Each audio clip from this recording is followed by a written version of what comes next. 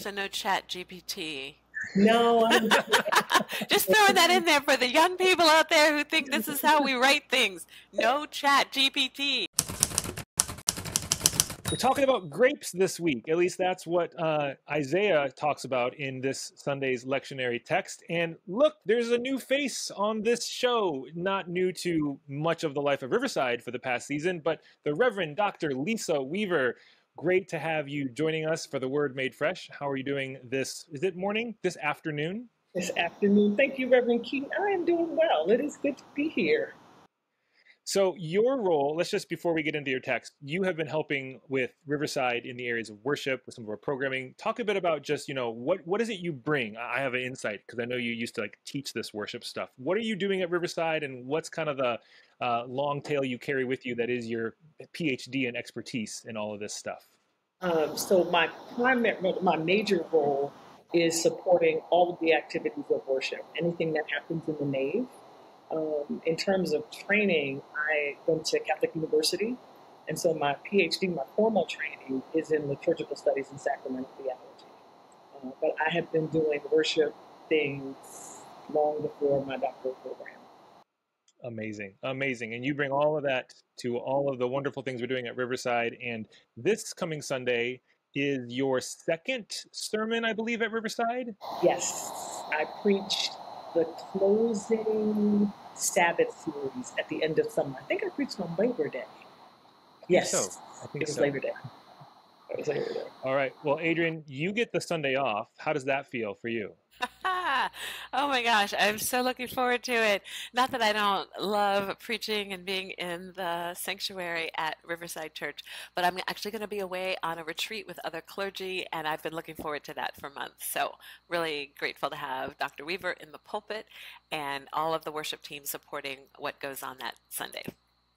It's going to be good. It's going to be good. be okay, well, that's Sunday. Uh, we are in the book of Isaiah, chapter 5. So uh, I think when I was looking, this is our first time dipping into the southern kingdom because we just had Hosea last week, who was actually a contemporary of Isaiah. They're in the same general time frame. Although, Bible Geek note, Isaiah is actually three Isaiahs, uh, first, second, third Isaiah, spanning a long period of time. Dr. Weaver will teach us a class on that later, I'm sure. This Isaiah chapter 5 is right at the beginning. Uh, Lisa, what's going on in Isaiah 5? What's happening in this text that you're going to be preaching? Um, it's it's a, it feels like a weighty text. Um, and I'm thank you for mentioning first, second, and third Isaiah because if we look at Isaiah and Israel's history within the Isaiah text, that text deals with pre-exile, exile, and post-exile, and so there's a way in which God tries to warn, um, like, hey. Um, I gave you these rules. They're not onerous. I really need you to follow them. And the people are like, eh, you know, they, you know, they, they can be whimsical and not necessarily as compliant, perhaps, as God would like. And they end up in exile as a consequence.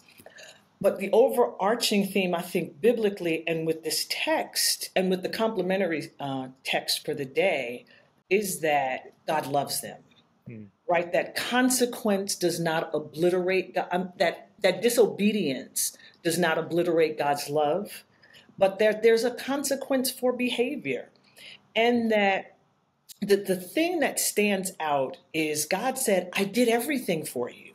I made all of the conditions right for you to do." What I wanted, what I asked, I made it so that it wouldn't be onerous. And still, you know, I did everything to get like these really good grapes, and I got these rotten grapes, Yep. right? So God's like, I can't make wine with that. So, you know, so it's it's hard. It's a hard text to hear, and the, the question that came to me, and I was talking to Reverend Adriene about it, is what does it mean when God's people disappoint God? And I'm thinking that parents have a particular kind of understanding of this text. You know, when you have expectations for your child and you've done everything for them, and, you know, they kind of, you know, do their own thing. I mean, it's interesting because last week with Hosea was this whole was very much a parenting metaphor of you know the toddler who won't go down for their nap, and now it's this rotten grapes metaphor. So you definitely got a whole lot of similar vibes going on on the north and the south, and the prophets have a very similar message for God's people. It seems. Right, right. And and the tension, it's Isaiah 5 and it's Isaiah 11. So the question becomes when you get these split, split texts, which one do I lean into? But there's a complementarity, I think, with the text because God's like, You've given me these rotten grapes, and I had good soil and great water. And then in 11, and the gospel text is like, But there's this judge that doesn't judge according to what he sees, right? There's this judge that comes with righteousness, right? So it's this contrast between God's like, I'm pulling back the hedge because God is like, I'm going to take away the protection. I'm going to pull down the walls. There are four things. God says four things that God's going to do because Israel's not obedient. And yet, there is God's love. There is God's mercy that God God is planning for the redemption of God's people even before the people disobey. Even in the midst of it, God is planning. Like so great is God's love that God's like, all right, you know, I get this image sometimes of God's like, you know, here we go. I gotta, I gotta make a plan. It's so uh, uh, interesting. I just came out of Bible study with the Tower League, our um, older adults, uh, just kicking around some of these texts in this season and into Advent. And someone used that very same metaphor. They said, I just think God sits around with God's head and God's hands going, oh, here we go again. it's such a powerful, um, yeah, disappointing uh, image right. that we just can't quite seem to get it right. Right. It's something, Reverend Thorne, that you say often in many different ways is that there is nothing we can do to make God unlove us. Right. To right? make God love us more or make God love us less. Now, mm. that is not a license to sin. I'm getting to the New Testament now. Heaven forbid. I think it's one of the little books in the back, right? Let us not take the grace of God and make it a license to sin, but that there's nothing we can do to make God love us more or less. But the, the I think what I like about the text is it it brings to the fore something that, in my limited experience, people don't grasp hold that because we love God and because we claim God and we know that God loves us, that does not exempt us from consequence right? We hold intention, consequence, and love. You know, what happened to me? God's supposed to love me. Well, but you can't run around with, with impunity, right? I mean, we can't function with that. And we've seen enough of that in the news, the people who think that their status, their zip code, their fill in the blank should exempt them from consequence. And the biblical text says no.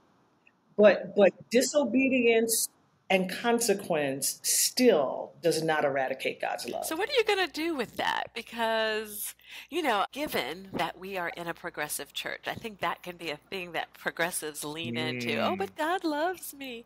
Oh, but God is gracious. It's like, yeah, but there's going to be some consequences. We don't do we consequences. Here, yeah, we don't do consequences well. Uh, you know, unlike you know some of our other siblings in the in the faith.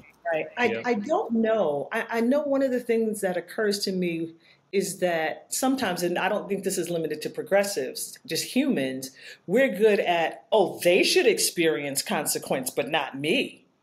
They should because I am, you know, I am the Reverend Dr. So and so. I am Bishop so and so. I am Congressman or, you know, Chief blah, blah, blah, blah, blah, right? I mean, there's so many things in the human condition that we think we need to be exempt from consequence. And I'm not trying to lean hard. I mean, you know, I tend, oftentimes when I have to preach, God tends to give me a pretty rough word. Um, so, as um, one of my favorite preachers says, she says, I'm not the happy preacher. So I don't tend to be the happy preacher, but want to feel good. Don't come to Reverend Weaver's sermon on Sundays. Not come. She is not gonna disturb the comfortable, right? That's right. Uh, this will be some disturbing the comfortable. Right. right. I mean, I think you know, there's the prophetic, and then there's the peace that comes. Right, Reverend Thorne, you talk about God's lavish love. I mean, I think that's p- part of the subtext of this. Right, it is this lavish love. Because God's like, I'm tearing down all the hedges. He's, no, I'm going to send somebody. I'm going to redeem them. Give us give us a glimpse at your process. This text is obviously rich. Uh, Isaiah's got a lot. How do you even go about creating this thing called a sermon? How does it come to you know where we are now and then in you know a little bit of time you're going to preach the thing from the pulpit what's your way of forming that preaching moment from here to there the fir- the very first thing that I always do when I'm asked to preach, given the assignment to preach, my prayer is a question. And it's like, God, what do you have to say to the people in that place that day? That's the first thing, right? Second thing I do is um, it's it's it's a nerdy seminary practice. Uh, I print the text, and I'm and I just sit and mark the text. I mean, full disclosure, I was also an English teacher, so I do this word thing. So you said you want to see what it looks like. This is what it looks like, right? Like you've got lines and you know what repeats, what words stand out, what um, what sequences are there? Because again, God says in verse 5, and now I will tell you what I will do to my vineyard. And there are four things, right? I mean, we tend to just kind of read, but when we parse that, you know, for God to come and say, I've got four things I'm going to do that's not comfortable, that's a lot. Because, you know, most times, you know, if you you punish your child, you say, I'm going to take away your phone for a week. One thing. God says four. God's pretty angry right? And so, and what words repeat? Like there's an expectation at the beginning and there's an expectation at the end of the text. So, in what ways are there themes or words that are envelopes, you know, old seminary word inclusios, right? These things, how is the text bracketed? You must remember that, Reverend Jim. You're laughing. You remember Hebrew Bible and your inclusios, right? So so I kind of did, I just draw on the text. I just sit and just draw. Just what comes up, what are the patterns? Then I'll read some commentaries. Um, perhaps maybe do some word studies if something really jumps out then I'm like, okay, God, what what's what's coming up? And so and then and then the outline begins to take shape. Um, I generally don't have an outline before I do this. Wow. Mm-hmm. So no ChatGPT. No, just throwing that in there for the young people out there who think this is how we write things. No ChatGPT. No ChatGPT. No AI. No, no AI. It's not intelligent. No. People can tell. Right. did not write that. right. And you know, you know, and you don't want to go out and say, "Oh, they plagiarized that sermon," you know. And next thing you know, Reverend Weaver now works in X.